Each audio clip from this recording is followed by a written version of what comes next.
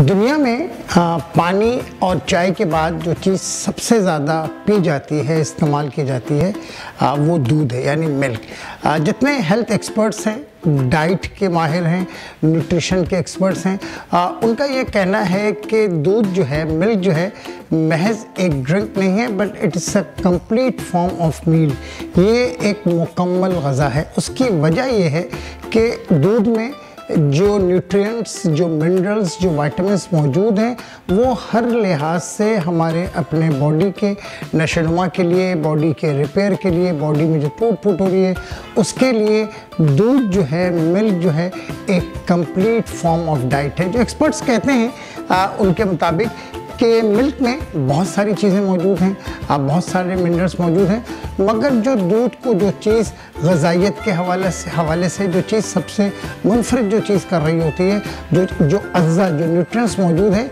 उसमें calcium sir फहरिस्त है।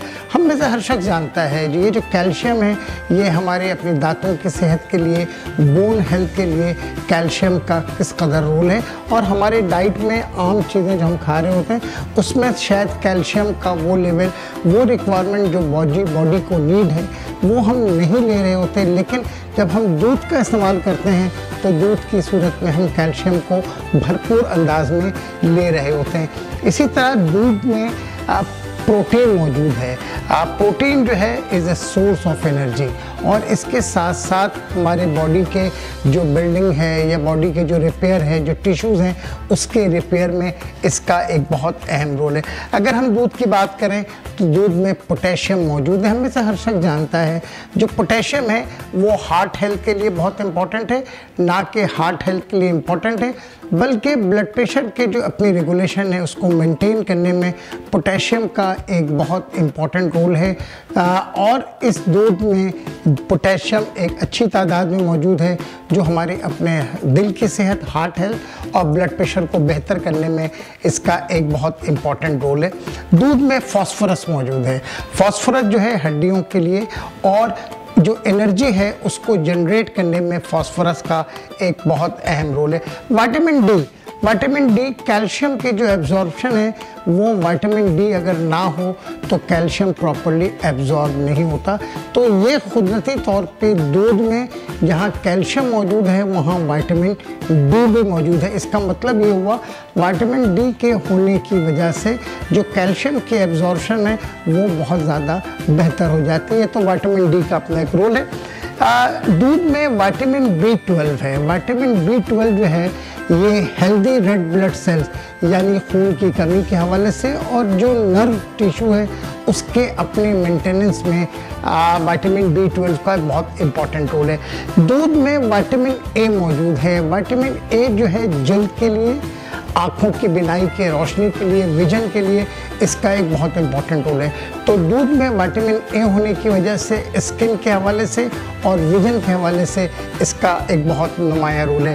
विटामिन बी ट्वेल्व मौजूद है, जो खुराक को, जो फ़ूड है, उसको एनर्जी में कन्वर्ट करने में इसका बहुत इंपॉर्टेंट रोल है विटामिन बी टू का। एक और एलिमेंट नयासीन जिसको कहते हैं जो शुगर और फैटी एसिड है, इसके मेटाबॉलिज्म में, इसके, इसको मोटाबलाइज करने में शुगर को और फैटी एसिड को नयासीन का बहुत इंपॉर्टेंट रोल है, जो दूध में मौजूद है। ये तो वो इंग्रेडिएंट हैं, ये जो वो अज्जा मौजूद हैं दूध में, उसके हवाले से मैंने बात की। अगर हम हेल्थ बेनिफिट की बात करें, जो सेहत के पॉइंट ऑफ़ व्यू से जो इसकी अफादियत है, अगर हम बात करें कि हम में से, मैं हमेशा ये कहता हूँ कि हम में से हर शख्स चाहता है कि वो बेहतर नज़र आए फ्रेश नज़र आए। वाइटामिन ए होने की वजह से जो कॉम्प्लेक्शन है, जो ग्लोइंग है ऑफ़ द स्किन इसमें बहुत ज़्यादा फ़र्क पड़ता है। स्ट्रॉन्ग थी दांत का मज़बूत होना। बहुत सारे लोग ऐसे हैं जो बहुत कम उम्र में उनके दांत जो है उस तरह मज़बूत नहीं होते, जो according to the age group होनी चाहिए, जिसकी वजह ये है कि शायद उनकी ज़िंदगी में कैल्शियम का इंटेक बहुत कम है। ना कि दांत की सेहत, हड्डी की सेहत, बल्कि जो कैविटीज़ हैं और जो टूथ डिकेइंग जिसको कहते हैं, उसको भी ये बहुत प्रिवेंट करता है मिल्क दूध के इस्तेमाल से, जिसको हम कहते हैं it helps to the strong teeth healthy bone हड्डी की डेवलपमेंट में एक बीमारी है उसको हम ऑस्टियोपोरोसिस कहते हैं, यानी हड्डियों का भरभुरापन।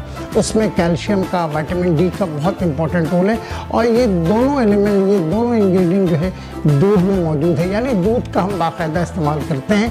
तो ये जो हड्डी की बीमारियाँ हैं, दर्द या ख़ास तौर पे ऑस्टियोपोरोसिस को हड्डी का भुरभुरापन कहते हैं। इससे हम अपने आप को प्रिवेंट कर सकते हैं।